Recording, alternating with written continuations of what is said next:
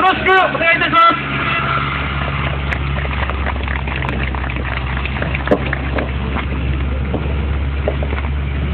おはようございます。元町の小山田久志でございます。今日は寒いところ、たくさんの方にお集まりいただきました。本当にありがとうございます。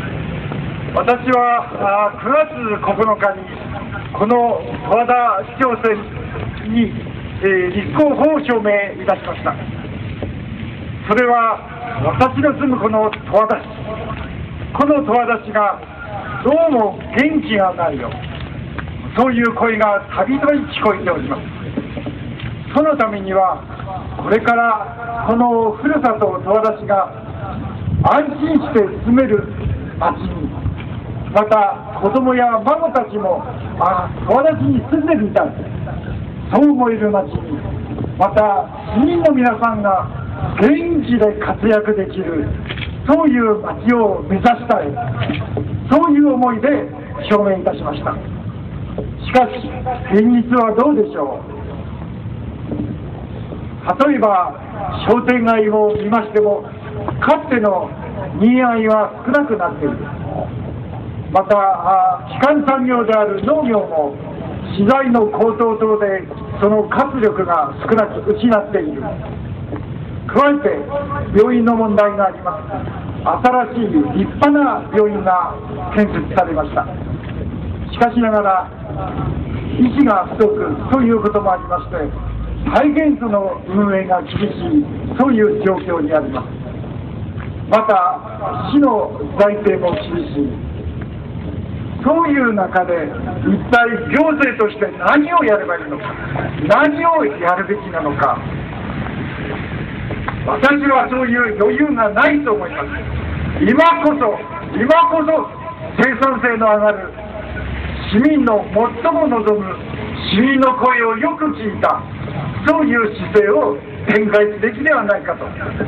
そういうふうに思っております。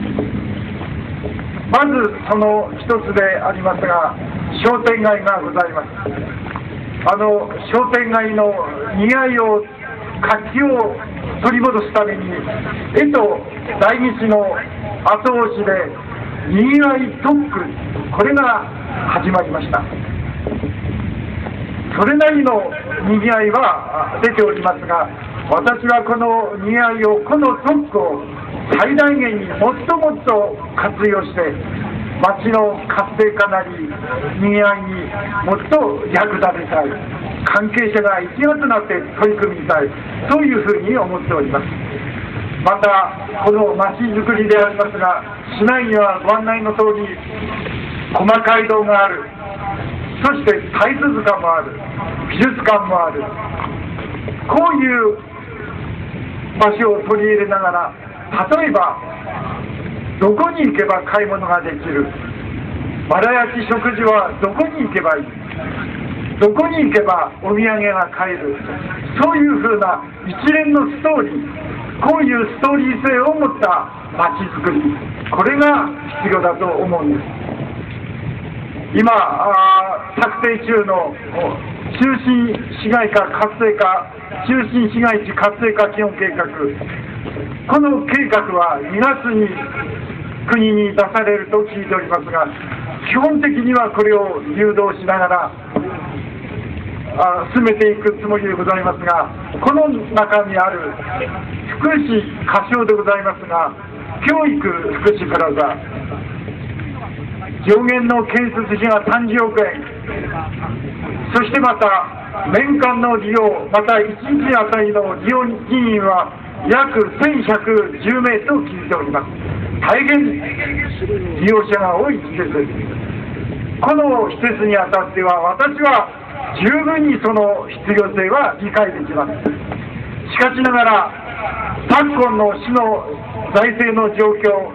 そういうことを踏まえれば、やはりその建設時期、これを見直すべきであると。また、先ほどの通り、1日1110人も利用する施設、当然のことながら、町の活性化、商店街にもその波及効果が大きいはずです。そういうことを再度私はこの目で検討したい。そう思っております。また行財政でございます。大変厳しい状況にあります。やはり市民目線でしっかりと見直して改革すべきところは改革する。見直すところは見直す。る例えば市の施設の在り方。そしてまた事業の見直し等々いずれたくさんございます。そういうことを進めながら市民の納得いくそういう姿勢を展開するためにはやはり行政の無駄をなくしなければなりません。